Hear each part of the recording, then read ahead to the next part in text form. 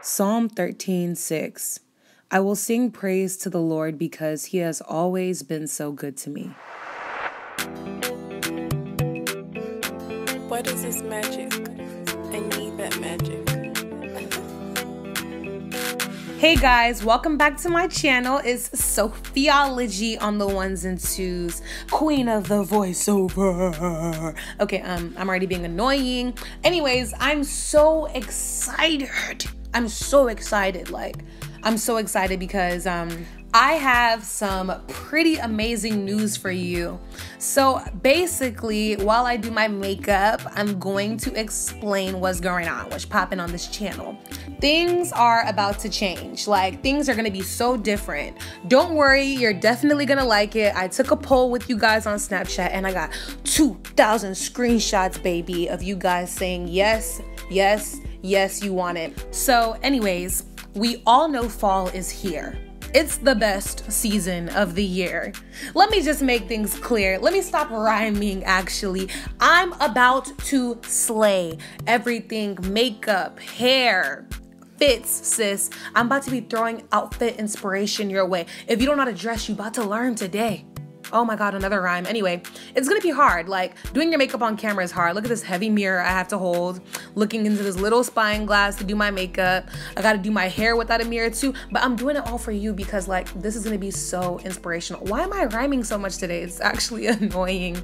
But for real though, this is about to be so much fun. Like, I've been wanting to do this forever. I'm about to give you all the tea on all the best makeup for the fall, the best hairstyles and colors for the fall, and the best outfits outfits, sis. I'm spilling the tea on where I get all my clothes and how I pair up my closet. But anyway, I just finished my makeup in like five minutes. I've never done that on my channel. Like, I'm literally baking and finishing up. I'm going in with Laura Mercier powder. Oh, okay, about this. FYI, I do read all your comments. I love you guys so much.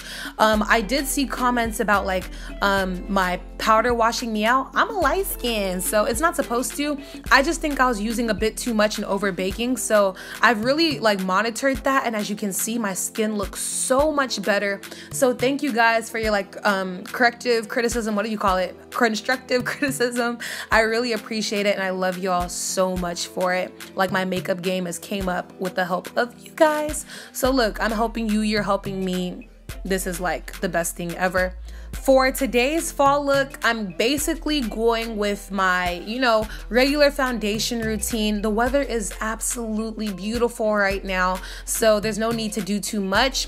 But for this makeup look today, I want a classic eyelid, which means like a deep crease and a very profound brow bone with a swangy lash. So I did go in and define my crease. I'm also highlighting with Becca's Champagne Pop, and man, Look at that glow.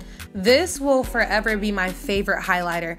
Becca Champagne Pop, I love you so much. I'm gonna go ahead and pop that in on my brow bone. Speaking of popping, my champagne pop popped. Can you imagine? Anyways, I'm gonna finish this look off by lining my lips with um, a regular brown lip liner. And then I'm gonna go in with the best red lipstick in the world by Stila.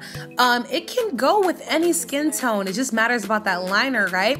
The funny thing is, You guys know I do not wear color and I totally did a sloppy job. So I'm gonna go in with the makeup wipe and carefully just use my nail to make a sharp line of that lipstick. And this lipstick lasts 24 hours, just for your information. I'm gonna seal everything with UD's All Nighter and that's it for the makeup. Surprise! We're going blonde today. You guys have seen Allison before. Say hello. Don't be shy, girl. So she looks a little different. I know. I went in and I dyed her way lighter, bleached her more and more, toned her really ashy, and she just looks completely different. I get it. She's also very fried. So if not for the love of God, this wig would have been in the trash. But I said, I won't give up on you, Allison. I put some wand curls in her, and this is how she looked totally bonkers, I know, but don't worry, I'm gonna fix it. I'm gonna go in with Got2b Glued hair gel and just you know, apply it to the baby hairs on the wig. We gonna need that to dry because it's looking really shiny right now. And the hair was at an awkward length, so I'm gonna go ahead and cut some of it off. I cut it off camera because I didn't want to make a mistake, but I did try to cut some on camera so you guys could see how I was cutting it. I'm literally just chopping at it. And I loved the style that it came out in. So cute, right? Anyway, we ain't gonna wait for the gel to dry. I know you guys are ready to see these outfits, so let's get dressed. Introducing our model for today, Sophiology. Yes, girl, stretch your stuff. Anyways, um, let me get dressed. Outfit number one is definitely for the risque Rochelles.